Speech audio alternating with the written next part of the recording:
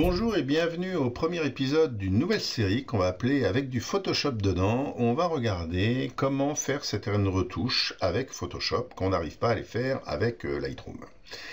Ça ne sera pas un cours sur Photoshop, il y en a déjà plein sur Internet. On va se concentrer sur des problèmes de photographe et euh, très clairement c'est ma façon de faire. Je suis autodidacte sur Photoshop, donc je pense que des spécialistes de Photoshop vont bien se marrer. Mais c'est juste histoire de vous montrer qu'on peut euh, quand même assez facilement résoudre des problèmes de photographe avec euh, Photoshop. Donc, comme je disais, des problèmes de photographe. Donc le problème par exemple de cette image, c'est que j'aurais voulu un fond beaucoup plus flou. Mais comme j'étais avec un grand angle, c'était pas forcément possible. Donc on va voir comment avec Photoshop flouter euh, ce fond tout en gardant quand même une voiture nette et que tout ça fasse relativement propre. Parce qu'on voit souvent des gens qui floutent, euh, mais alors euh, de tous les côtés, et ça fait pas du tout réaliste. Là, par exemple, si cette euh, voiture est nette jusqu'à peu près la vitre arrière, ça veut dire qu'au niveau du sol, il faudra que ça soit net également et qu'il y ait ensuite un dégradé pour arriver à la partie floue. Donc il faut que ça soit relativement propre. On aura aussi, on verra qu'à l'intérieur ici, il faut que cette partie-là soit floue. Si cette partie-là est nette, euh, c'est pas réaliste, puisque le fond doit être flou. Donc c'est sur ce genre de choses qu'on va euh, travailler. Alors, euh, Photoshop en premier, Lightroom en premier. Ça, c'est des bonnes questions. J'aurais tendance à dire que pour ce genre de retouche, je vais d'abord partir dans Photoshop. Pourquoi? Parce que je veux un résultat à la fin qui est un noir et blanc euh, assez contrasté avec des tons sépia. Et donc Photoshop risque d'avoir du mal à me faire des sélections correctes si je fais mon traitement avant. Donc là, je vais partir dans Photoshop avant et je ferai mon traitement après. On va quand même faire deux ou trois petites corrections, des corrections toutes simples qui coûtent pas cher, comme par exemple, on va redresser euh, un peu ça pour que les phares soient relativement alignés, voilà, et que la voiture soit relativement droite. Ok, une fois qu'on a fait ça, ben c'est simple, on fait clic droit et on fait modifier dans Photoshop. Nous voilà dans Photoshop, on a notre voiture et on va ben, décider de sélectionner ce qui doit rester net. Alors, c'est pas trop la peine de s'embêter sur le bas de la voiture puisque comme j'ai dit, euh, toute cette partie-là, on va dire au-dessus des phares là, euh, sera de toute façon net. Donc on va plutôt sélectionner et s'occuper ici de la partie haute. On va essayer de faire ça euh, proprement. Alors, on va zoomer un peu dans l'image. Euh, zoomer dans l'image, c'est affichage, zoom avant ou contrôle plus. Je n'utilise pas beaucoup les raccourcis, mais c'est vrai que le contrôle plus est quand même assez intéressant. Et on va essayer de repérer ce qui appartient à la voiture ou pas. D'accord? Donc là, cette partie-là appartient à la voiture. Il faudra faire attention. Ce petit crochet appartient à la voiture. Il faudra bien sélectionner ici le rétro parce que ça, ça va être flou et ça, ça devra rester net. D'accord Par ici, on a un petit bord. On a ici cette petite partie-là appartient à la voiture aussi. On a le rétro qui est là. Et ensuite, on descendra euh, tranquillement. Alors, comment je vais faire cette sélection? Moi, j'utilise quelque chose ici. Pardon qui s'appelle l'outil de sélection rapide. Alors on a le baguette magique qui prend euh, toutes les choses qui se ressemblent. L'outil de sélection rapide, c'est quelque chose où il faut un peu plus dessiner. Pour voir les différentes options, je vous rappelle, clic droit hein, sur les, différents euh, menus. Donc là, clic droit, outil de sélection rapide. Une fois que j'ai fait ça, vous pouvez choisir ici la taille de votre brosse de sélection et je vais euh, simplement peindre comme ça sur la voiture d'une manière assez grossière. D'accord? Je vais pas faire les rétros tout de suite, les rétros je les ferai euh, après. Voilà, et on a dit que jusqu'au-dessus du phare, euh, ensuite tout ce qui est là, on le fera avec un autre type de sélection euh, beaucoup plus bourrin. Donc une fois qu'on a fait ça, ben maintenant on va aller voir ce qu'il a fait. Donc là on va zoomer. Et cet outil de sélection rapide est un outil qui apprend au fur et à mesure. Donc là je vais prendre une brosse qui est plus petite. Je vais aller vers les, vers les 25. Ok. Et là, vous voyez, cette partie-là, elle manque. Donc, je vais simplement passer dessus.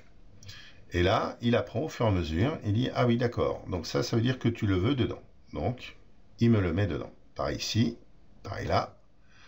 Et là, vous voyez, je commence à avoir une sélection qui est pas mal sur le bord de la carrosserie. Alors, on va pas y passer des heures. Hein. Ça, ensuite, vous faites plus ou moins précis. Là, ici, bah, c'est simple, c'est en trop, donc j'appuie sur Alt, ça passe en moins, et je passe en disant ça, je n'en veux pas. Et voyez, au fur et à mesure comme ça, il apprend et il décide de sélectionner ou pas les différentes choses. Donc là, vous voyez, j'ai une sélection qui commence à être pas mal sur cette partie de la carrosserie. On va s'occuper du rétroviseur. On va faire CTRL plus pour être bien, bien sur le rétro. Là, on va prendre une brosse qui est plus petite, qui fait à peu près, voilà, parce qu'on a cette, cette espèce de boule là sélectionnée. On a ensuite euh, la partie ici du rétro. Ensuite, on a cette partie là, dessus. Ok, donc quand on lâche, vous voyez, il ajuste sa sélection. Très bien, donc on lui dit voilà, je veux ce petit truc en plus, je veux ce petit bord en plus. Alors vous voyez, là, il en a pris trop, donc on appuie sur Alt et on repasse. Et en faisant comme ça, en rajoutant et en retirant, comme je vous disais, il apprend au fur et à mesure et il devient de plus en plus précis. Voilà, là je suis pas mal. Cette partie-là, je n'en veux pas. Donc je lui dis, je n'en veux pas. Celle-là, je n'en veux pas non plus. Ah, vous voyez, il a fait quelque chose qui commence à être assez sympathique en termes de sélection. Je vais passer en vitesse rapide hein, parce qu'il va falloir que je fasse tout le reste. Ça va durer, euh, ça va durer à peu près 10 minutes. Donc je ne vais pas vous imposer 10 euh, minutes. Donc là je passe en vitesse rapide, je ne parle plus. Et euh, vous verrez simplement le truc qui se déroule en vitesse rapide. Vous pouvez diminuer la vidéo si vous voulez voir. Mais très clairement, je vais faire ça. je vais rajouter des zones, je vais retirer les zones pour que ça soit de plus en plus précis, que j'ai une sélection ici qui me plaise bien. Là, il faut être assez précis si vous voulez avoir un.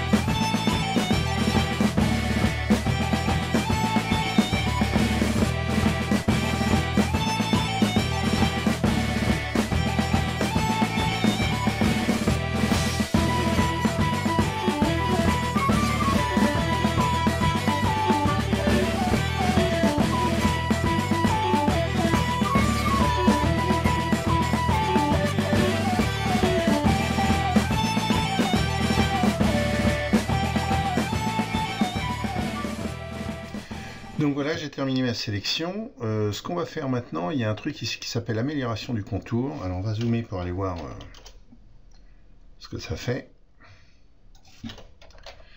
Car on va s'en servir euh, quand même un peu. Vous voyez ici, il y a des petits angles dans la sélection. Donc si on clique sur amélioration du contour, ici, vous voyez bien ce qui se passe. Déjà, on voit qu'il y a une sélection un peu en trop là-haut. Et je ne sais pas pourquoi.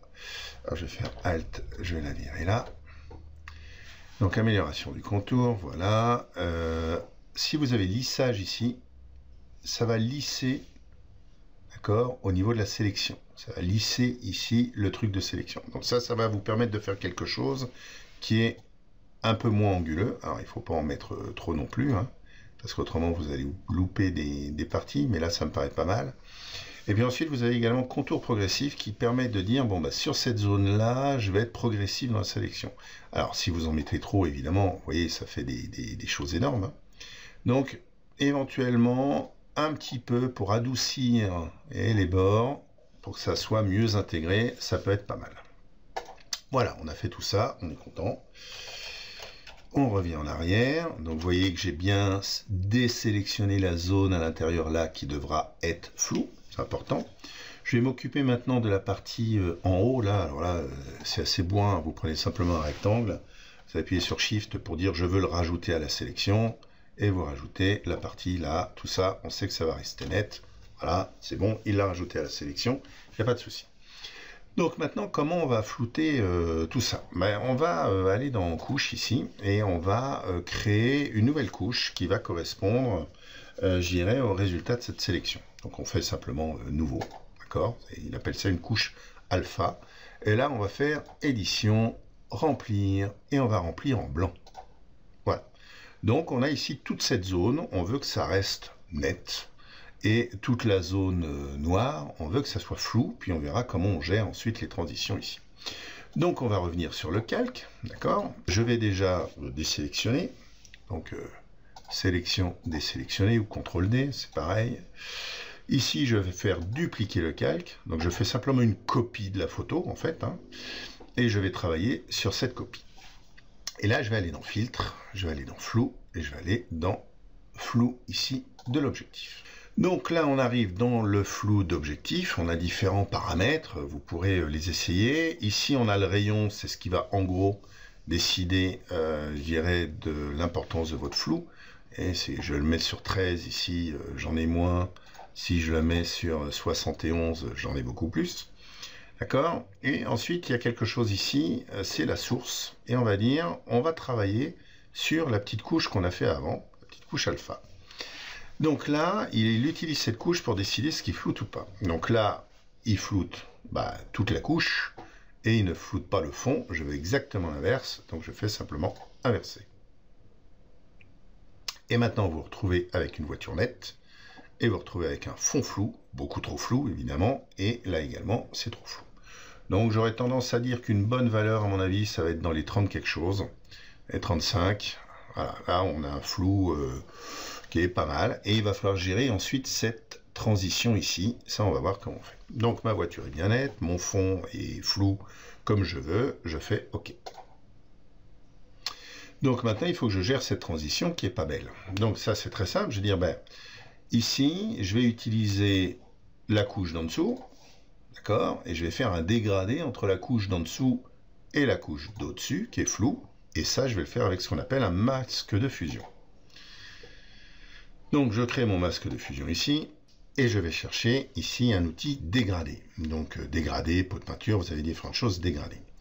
Je veux un dégradé qui va du blanc vers le noir, tout à fait. Donc il va bien du blanc, je vérifie que je sois blanc vers le noir. Euh, d'accord Ici, on est bien en noir, tout va bien.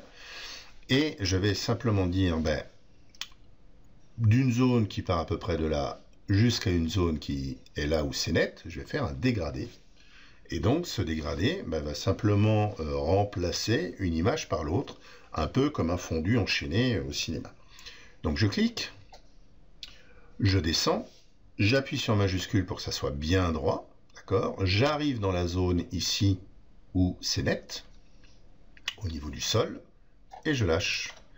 Et là, vous voyez maintenant que la séparation a disparu. J'ai bien eu un dégradé entre la partie nette et la partie floue. Alors, je peux éventuellement le faire un peu plus long, ce dégradé. Je vais faire ici, édition, annuler dégradé. Je vais partir d'un peu plus haut, là, vers ici. Voilà, et je vais descendre tout droit la partie qui est nette. Et voilà. Et là, ça me va pas mal. Et une fois que j'ai fait ça, ben, j'aurais tendance à dire que j'ai fini pour tout ce qui est la partie euh, fond. On va voir si on a encore un peu de temps pour terminer la partie euh, Lightroom. Donc là, ben, je sauve simplement, hein, je ferme. Voulez-vous enregistrer les modifications? Oui. Alors je garde quand même euh, l'original, hein, c'est-à-dire que je pourrais revenir si je veux pour changer. Donc j'ai mes différents calques et je pourrais revenir s'il le faut. Je vais dans Lightroom, et dans Lightroom, vous voyez maintenant que j'ai ma photo avec mon fond qui est flou, et maintenant je peux faire euh, mon noir et blanc euh, euh, comme je voulais le faire. Donc je me fais mon noir et blanc, je veux quelque chose de bien, bien contrasté. Je veux lui mettre un virage un peu sépia, hop, voilà, pour que ça fasse un peu plus vieillot. Et dans les effets, je veux mettre pas mal de grains pour que ça fasse un peu vieilli. Et voilà, j'ai terminé le développement de ma photo. Voilà, c'était le premier chapitre. Ça vous montre comment flouter un fond d'une manière, on va dire, assez naturelle en utilisant Photoshop. Merci, au revoir.